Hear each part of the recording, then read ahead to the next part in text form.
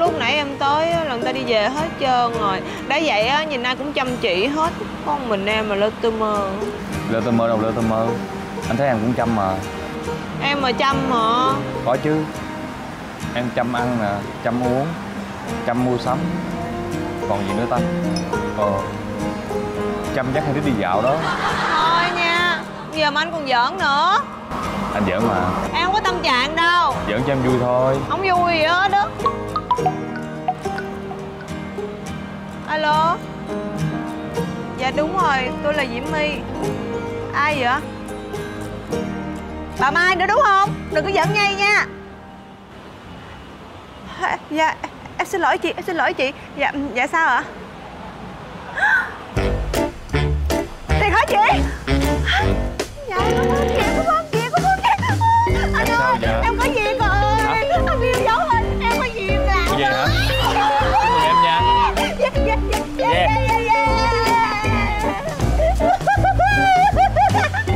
thêm cái nữa. Chăm nhây nữa.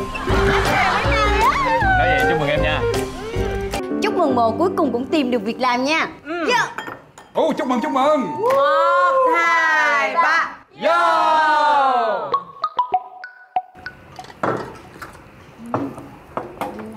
Alo em nghe. Ủa sao nói có ca phẫu thuật mà? Anh ghé một lát thôi. Đáng lý ra anh phải vô chung vui với mọi người. Mà anh không vô được Xin lỗi nha. Có gì đâu. Anh không vô thì ờ, đỡ phải tốt đồ ăn. Nè Lần đầu tiên đi làm Phải làm cho đúng giờ nha. Biết rồi. Ngày mai người yêu của anh đi làm rồi. Làm ngày đầu tiên Mà anh không đưa đi được. Có lỗi ghê. Có gì đâu. Tại anh bận chứ bộ đâu phải anh đi chơi đâu. Ừ. anh làm như em con nít không biết suy nghĩ vậy. Con nít Tính ra anh tính là làm băng rôn bự vậy nè Rồi múa đội cổ vũ Múa múa múa múa múa nè. Cổ vũ mà anh sợ nó, nó rô lố quá Cho nên không làm. Anh sợ là đúng rồi đó. Sao vậy? Lố thiệt. Anh chuẩn bị cho em cái này nè. Cái gì vậy? Tới tới em Mở đi. Cái gì vậy? Mở đi. Đó Anh thấy cũng dễ thương Hợp với em. Đem đi làm nó cũng tiền trời ơi cũng gọn quá ha. Mà nè Cái này á, dùng để đựng card visit Chứ không phải dùng thẻ ghi nợ đâu nha. Biết rồi. Dễ thương quá à. vừa gọn á mà màu này á xài không có dơ đúng không? Đúng rồi. Cảm ơn anh nha. Để đáp lại tấm chân tình của anh thì em hứa sau khi em làm xong cả visit của em danh danh thiếp của em á thì em sẽ tặng cho anh đầu tiên. Tặng cho đầu tiên luôn? Ừ đáng ra em tính tặng ba em đầu tiên để làm kỷ niệm á. À. Ừ sẽ tặng anh đầu tiên. Trời đẹp dễ thương quá ha. Ừ. Bỏ cho trái tim nè. Bỏ lại. Chỗ cái ổ card visit này có phải là nhà xuất bản tiếng Anh không? đúng rồi chỗ em sắp làm á. À. Em nghĩ á là nếu mà em làm ở trong một thời gian em cũng sẽ nâng cao được kiến thức của em luôn. Đúng rồi. Diễm My của anh giỏi mà. Tất nhiên Cố lên. Cố lên. Team 2 của anh. Cảm ơn diện tư. Anh đi nha đi đi. Chạy cẩn thận nha. Biết rồi. Chạy tập trung đó. Anh đừng biết có gì rồi. nhớ em mà lơ là nghe không? Tự tin quá. À. chạy cẩn thận nha. Vô nhà đi. Anh đi đi. Ngoài lạnh lắm á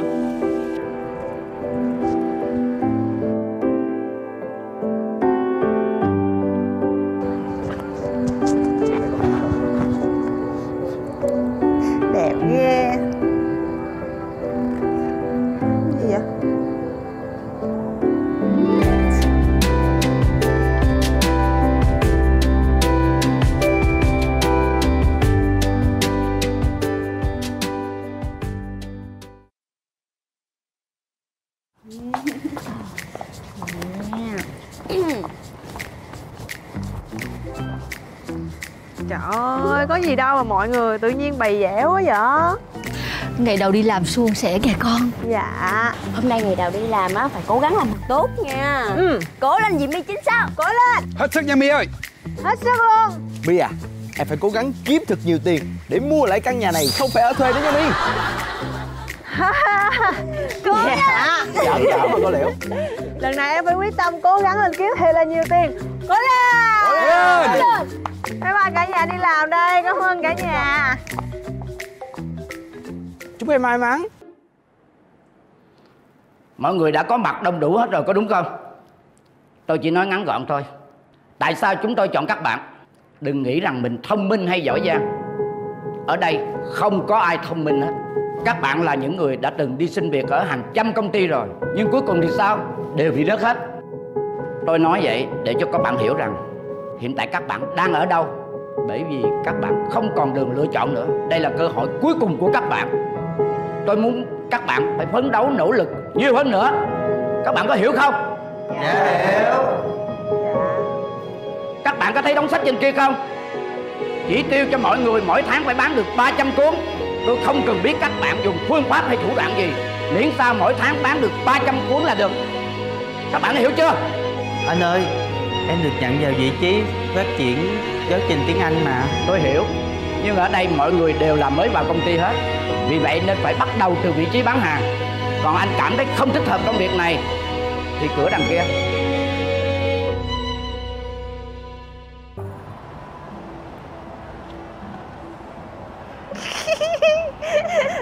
anh nha anh tới trễ Em tới rồi ấy hả? Ngồi đi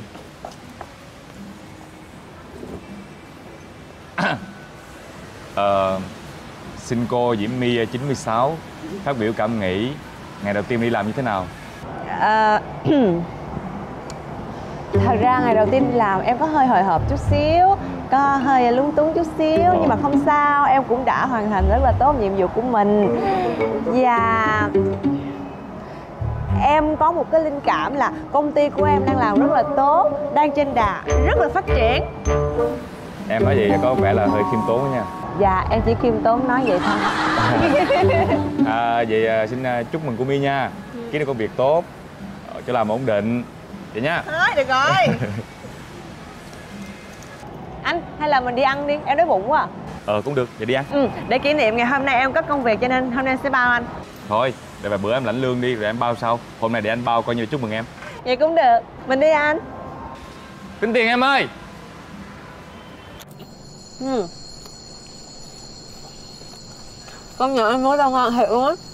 Ăn từ từ thôi Không chừng mất ngạn đó. Ừ. Nè Uống miếng nước đi. Ủa? Hử? Tay em bị sao vậy? Tay bị sao vậy có có gì không? Em bị té hả? Ừ. Đúng như thế gì đâu. Chắc vô quẹt chỗ nào hay sao không nhớ. Đâu thấy đau rồi đâu nên không biết luôn á. Vậy mà không đau hả? Ừ. Thôi được ngồi đây đi. Để anh xuống mua bông băng anh băng lại cho. Ừ. Gì vậy ngồi lên đi em đâu cần không ngồi nữa em trong nhà. Em rửa tay chút xíu hết à. Như vậy? Sao được? Sao hết á? Đâu thấy đau rồi đâu được rồi Đó thấy chưa? Ăn từ từ thôi Ngạn đó mà bữa nay á phải phải để anh ba em ăn rồi. Ngày mai á em phải đợi thêm một bữa nha. Ngày mai anh bận trực rồi. Ừ. sao lúc nào em tính đợi anh ăn anh cũng bận giật hết trơn vậy? Ờ vậy thôi bữa sau nha. Cũng được. Bữa sau để em đợi anh ăn đó nha Ừ.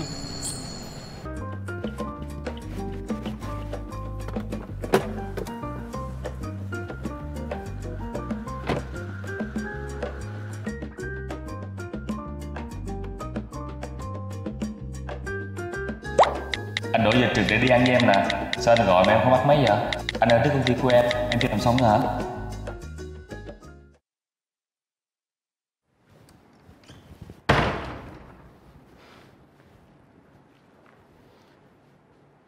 Hình như là mọi người đã quá coi thường công ty Mà coi thường công việc này có đúng không? Bây giờ ai được gọi tên thì bước lên Khánh Hoàng Thúy Hồng Diễm My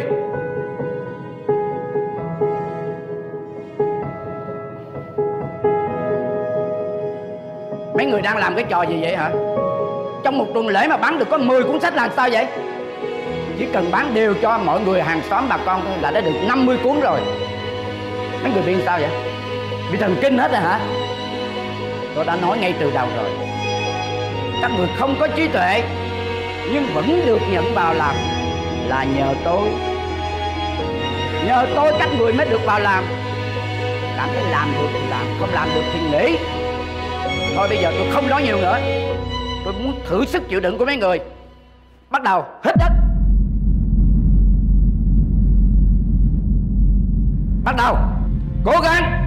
Cố gắng nó to lên. Cố gắng vì công ty. Vì công ty tôi muốn nghe to hơn nữa. Cố gắng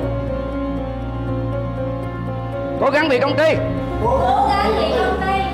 Vì công ty. Đây là ai vậy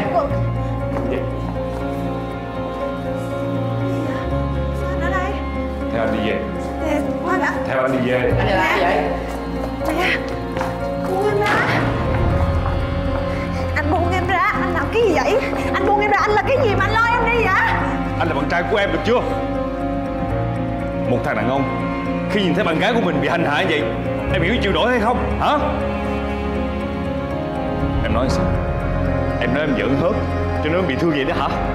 Em chấp nhận làm việc của công ty Rác rưởi vậy hả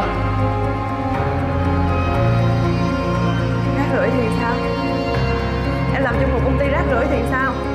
Khi có công ty rác rưởi như vậy mới chịu nhận em thôi. Em nộp đơn vô hàng trăm công ty rồi Không có công ty nào chịu nhận em hết. Nhưng không có nghĩa về họ quyền hành hạ em Em hiểu không? Em cũng xấu hổ lắm Em cũng tủi thân lắm. Nhưng mà người giỏi giang nha làm sao hiểu được cảm giác Một người như em được công ty chấp nhận nhận vô làm là đáng trân trọng như thế nào? Nhưng mà họ đối xử. Anh nhìn em đi. Bây giờ em còn làm được cái gì nữa không đây là hiện thực của em. Đây là tất cả những cái gì Mà bằng cấp em mang lại cho em. Em không có còn con đường nào để lựa chọn nữa hết. Anh làm vậy là anh đã cướp đi cơ hội cuối cùng của em anh biết không? Anh đi đi.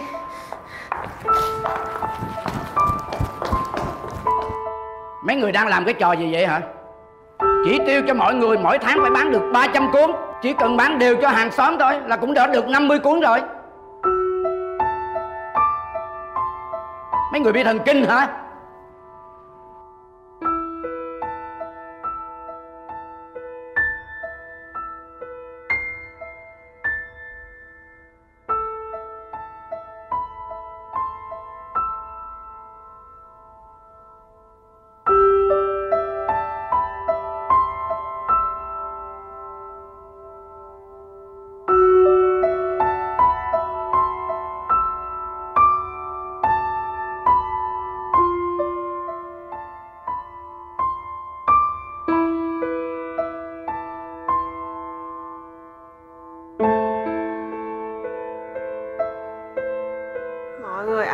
Nói là em thiếu kiên nhẫn.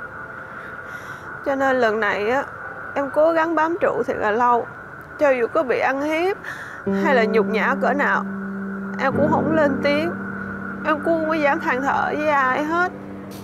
Em hy vọng á, em Nếu em cố gắng á, Thì em sẽ chứng minh được cho mọi người thấy Là em đã thay đổi. Rồi, từ từ mọi chuyện sẽ dần ổn. Em muốn á mọi người thấy em khác em muốn được nở mặt nở mày. Mọi người không có coi thường em nữa. Em chỉ muốn con vậy thôi à.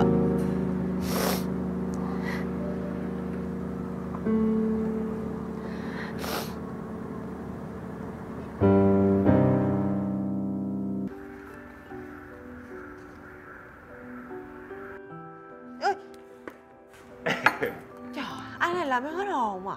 Em đang tập trung Cuộc phỏng vấn sao rồi? Rớt nữa rồi. Chán gì đâu á. Mà ông đó ông phỏng vấn em Ông cứ hỏi em là họ tốt nghiệp ở trường nào không à. Em đã ghi rõ trong CV của trường em rồi Mà cứ hỏi tới hỏi lui rồi bực bội gì đâu á.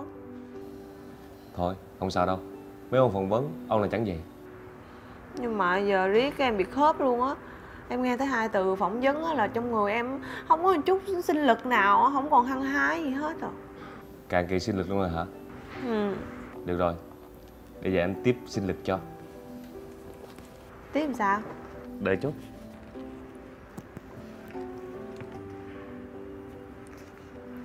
Ủa? Bé anh buffet anh nè. Trời ơi từ đâu anh có vậy? Bạn anh cho á. Nè Trưa mai rảnh không Tất nhiên là em phải rảnh rồi. Với lại à, chưa mai ăn đúng không? Ngày hôm nay em sẽ nhịn đói Cho đến ngày mai luôn em mới ăn buffet. Tại vì em nghe nói chỗ này nó ngon lắm luôn á. Cảm ơn anh nha. Cảm ơn những tư của em nha.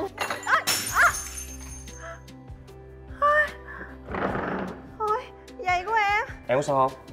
Không sao. Mà đôi giày của em. Được rồi không sao đâu. Bình tĩnh. Bỏ chung qua kia Bỏ chung qua kia. Để đó Để anh dọn cho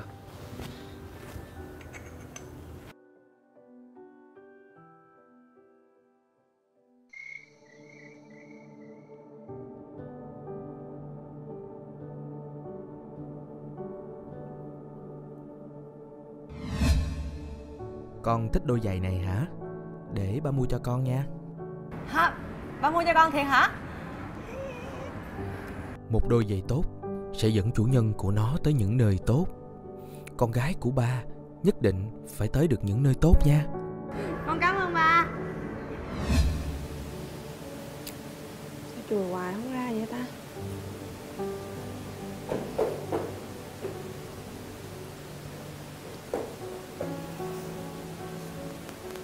My Cái gì vậy? nhỏ xấu xa này sợ dâu tôi à Gì vậy ba? tôi gọi điện cho mẹ của bà rồi đừng có giấu mà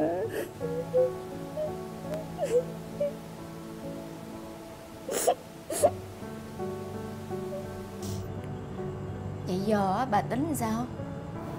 Thì ờ, trước mắt tôi đi ờ, kiếm tiền Xin việc làm cái đã.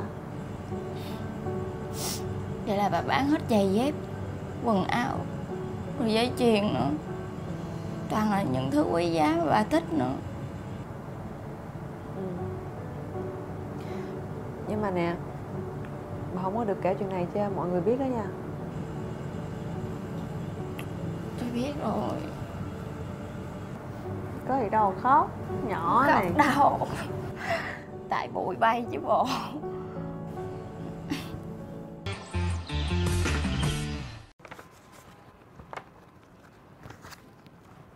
À, dạ alo.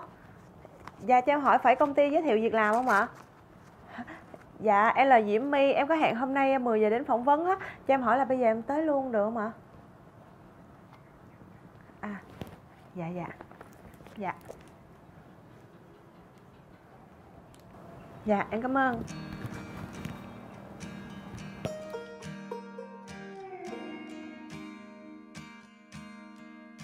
À, xin lỗi em nha.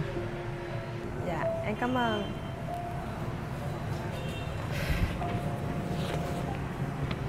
Em học trường nhân văn à? Dạ. Ừm, với cái trình độ học vấn của em thì xin việc ở đây hơi bị phí á à, Dạ không sao đâu chị. Cỡ nào em cũng làm được á. Em em sẽ cố gắng hết sức.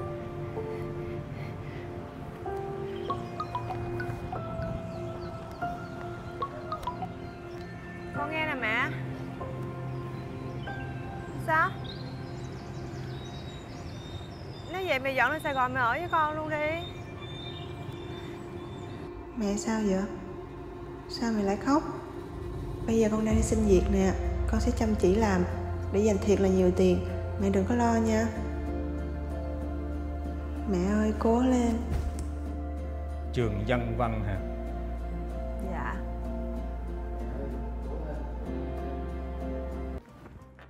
Em xin lỗi anh nha. Em tới trễ. Không sao đâu. Mới có 50 phút mà trễ gì. Quá trễ đi chứ. Em xin lỗi mà. Uống gì? Cà phê nha Giờ đang buffet mà. Cho nên á em để bụng á ăn luôn. Chứ uống vô nước á đầy bụng lắm sao mà ăn nổi? Em ăn được bao nhiêu mà em lo quá vậy? Đừng nói với anh á Em nhịn đói từ tối hôm qua tới giờ thiệt đó nha. Thiệt mà.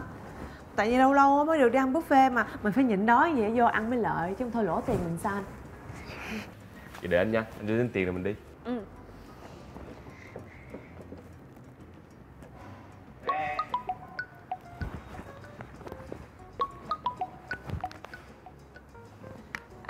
nghe nè bà. Mới có người giới thiệu cho chớp này nè ngon lắm á. Bà có làm không? Tôi giới thiệu cho. Ờ, không được rồi. Tại vì biết sao không? Tôi với anh Sĩ á Chuẩn bị đi ăn rồi vé mua hết trơn rồi. Ờ vậy thôi. Tưởng đâu bà rảnh. Vậy thôi hai người đi ăn vui vẻ ha. Ê Nhưng mà Chớ bà tính giới thiệu cho tôi là gì vậy? À tôi biết rồi. Vậy có gì nhắn tin nha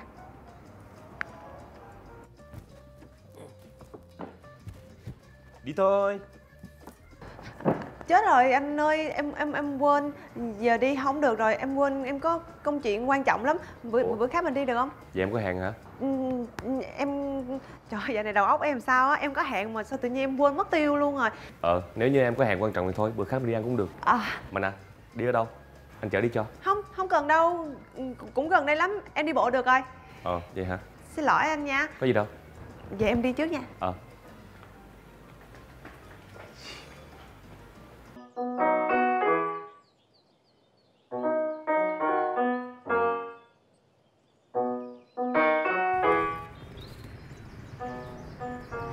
cũng không báo trước tiếng nữa. Em làm cái này bây giờ chưa? dạ chưa nhưng mà anh yên tâm đi em sẽ cố gắng hết sức. Nếu chưa bao giờ làm thì sao làm tốt được? Giang Lại giới thiệu cho bạn này đi. Dạ Bạn làm theo tôi nha. À.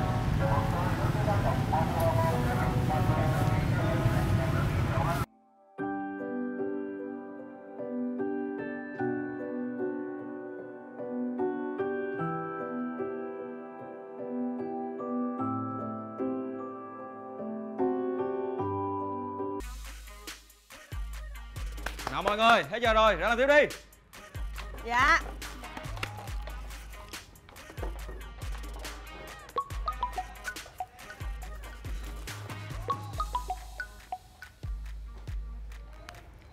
dạ em nghe. Em đang làm gì á? dạ em đang à, đi ăn với mấy đứa bạn. Vậy lát mình gặp nhau nha. Hôm nay được về sớm nè. Ờ không được rồi. Tại một hồi nữa um, ăn xong tụi em còn phải đi cà phê rồi đi shopping rồi nữa. Ủa sao buồn quá vậy? Dạo này em hay bận quá ha. Anh làm như anh rảnh lắm vậy đó. Anh cũng bận mà. Sao tự nhiên bữa nay á, rảnh gọi điện thoại cho em vậy? Vậy thôi nha. Có gì ờ, gọi lại sau nha. Bye bye anh Sao giờ đứng đây nữa? Em tới em làm hay là em tới ờ, gọi điện thoại? À dạ dạ em xin lỗi. Hai đứa. Lương em đây. Dạ em cảm ơn Vâng, anh. Cảm ơn em. Cảm ơn Dạ em. cảm ơn anh.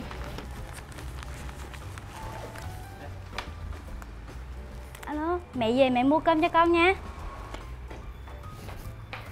Tiền lương của em đây. Em cảm ơn anh. Cảm ơn em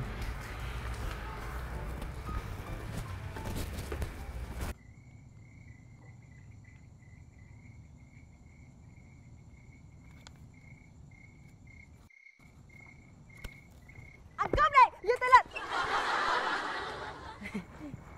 Trời đất ơi. Em tới một cái là ồn như giặt liền ha. Xúc sổ đô tháo luôn á chứ. Em nói em về trễ lắm mà tự nhiên tới chi vậy? Anh nói trễ cỡ nào anh cũng đợi được mà. Không gặp em được. Ăn không ngon, ngủ không yên. Xạo à. Thiệt, bữa nay về đặt dẻo miệng nữa. Giải miền đâu? Mà không gặp được em là ngủ không ngon thiệt hả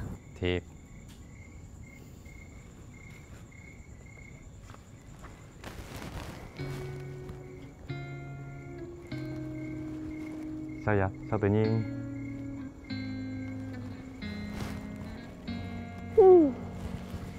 Có chuyện gì hả? không. Đúng là ôm anh cái tự nhiên con người phấn chấn khỏe ghê giống như là nạp pin vậy á. Đi uống cà phê không? Em bao Được, đi đi. Thôi. Đâu, đi em coi. Giày chân lên đây. em Trời ơi. Ủa Đôi giày này hôm qua đổ cà phê mà. Đúng rồi. Nhưng mà anh nhớ nha Cô My á Là mỗi ngày mang một đôi giày mà Sao chấp nhận mang giày hôm qua vậy? Tại em thích đôi giày này chứ bộ. Thích đôi giày này hả? Ừ. Được rồi để anh chút nha.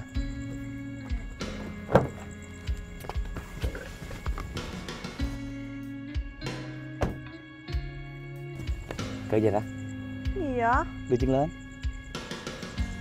Ô Đây, đưa chân lên.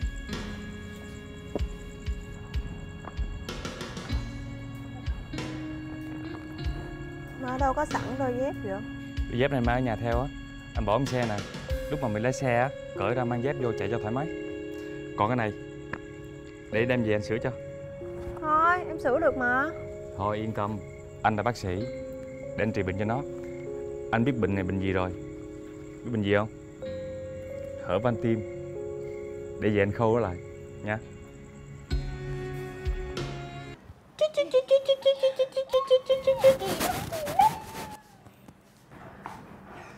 Ủa? cả nhà Sao bữa nay về trễ vậy con? Dạ, mới xong Làm chỗ đó sao vậy? Được không? Có mệt không vậy? Tất nhiên là mệt rồi Nhưng mà có công việc làm hết càng tốt. Từ từ cũng phải tập quen thôi. Cảm ơn bà đã giới thiệu nha.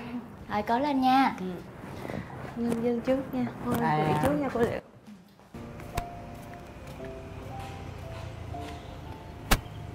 Tới rồi á hả? Tại vì nôn quá Muốn gặp em. Nè Anh trị xong rồi đó. Hay quá vậy. Anh đúng là mát tay luôn á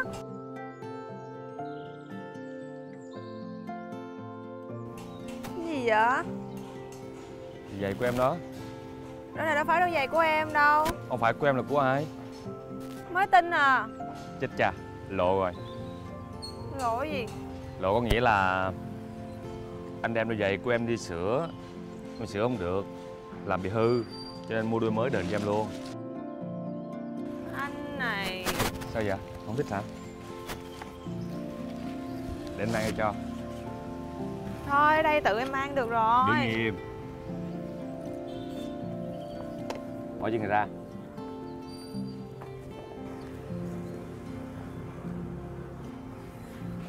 Em nghe câu này chưa?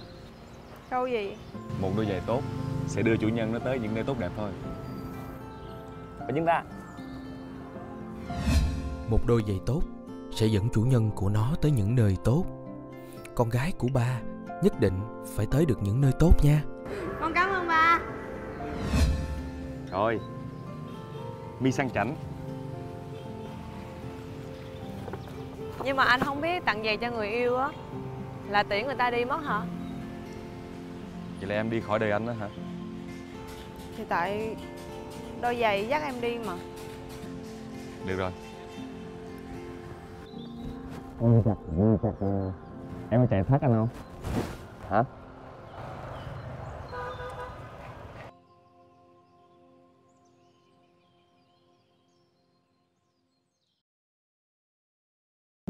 vì phía sau cơn mưa cầu vồng sẽ tới ngày tháng trôi đi nhanh, muộn phiền ta sẽ rồi vơi